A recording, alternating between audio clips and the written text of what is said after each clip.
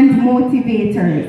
You know what this means? It means that no matter what is happening to you or what happened, you can be great. Alright? I want all the students to stand for me.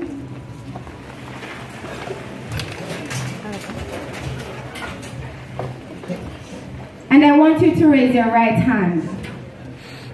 And I want you to repeat after me.